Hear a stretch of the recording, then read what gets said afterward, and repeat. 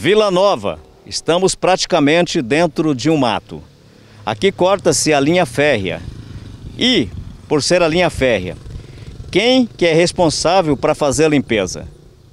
Tem uma senhora, uma moradora, já foi assaltada porque tem um mato, o pessoal entra dentro da residência, a reclamação é de todos os vizinhos dessa rua. Eu vou conversar com a dona Lúcia a respeito dessa reclamação dela. Ô, dona Lúcia, a rua que a senhora mora qual é? É Nilson Menezes Dias, Vila Nova 2. Essa aqui que corta. Essa daqui que eu sei parece que é Ari Barroso. Tá, e a reclamação é aqui perto da linha, é, digamos, corta, né? Isso, faz fundo aqui. E eles entram, arrebentam cerca elétrica, rouba e fica escondido no mato aí. O mato é muito alto aqui. Muito alto. E uma, eles assaltam aqui perto da linha mesmo. Eles catam, tem, assaltou o que? Tá com uns 15, 20 dias que pegaram uma menina aqui e roubaram o celular dela. E facilita a vida deles aí. Ah, facilita. E esse mato não dá para ficar, né? E joga lixo, joga no campo, também no campo tem bastante lixo jogado.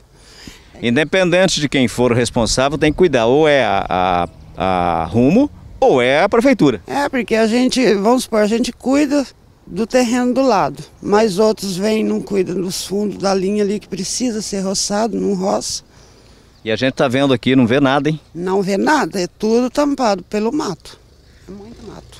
Qual que é o nome completo da senhora? O meu é Lucivane Lourenço da Luz. Ô, dona Lúcia, nós Lúcia, né? Isso. Ô, dona Lúcia, nós trouxemos o prefeito que eles acionem alguém que seja responsável e limpam, né? Isso, verdade, porque o prefeito faz a parte dele, mas os outros não faz, não adianta nada, né? Vamos lá só fazer um pedido para ele.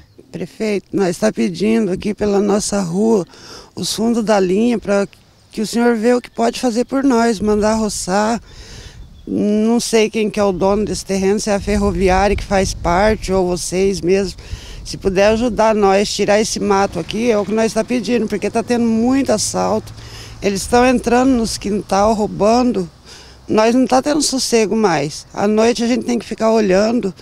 Então eu peço, pelo amor de Deus, que ajuda nós nessa limpeza do, do terreno, porque a gente cuida dos terrenos do lado, mas os outros não cuidam do, na beira da linha. Daí a gente está pedindo em nome do povo, né?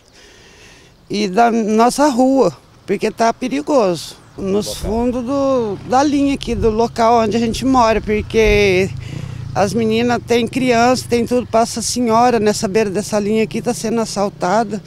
Eles ficam escondidos no mato. E a gente não sabe de onde que eles vêm. É aqui na Vila Nova 2. Fala, pô!